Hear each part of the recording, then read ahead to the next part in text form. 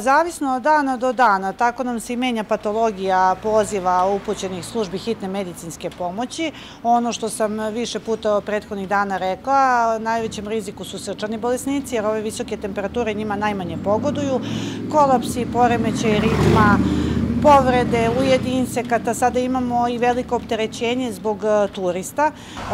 više saobraćenih udesa, apelovali bih na građane što su im i više puta rekli da kada putuju na duže destinacije, da češće prave pauze, da ne dođe do premora, što više tečnosti i koliko mogu da izbegavaju i izlazak i putovanje u tom najtoplijem delu dana. Preporuka za starije, trudnice, hronične bolesnike, kogod ne mora da ne izlazi u najtoplijem delu dana,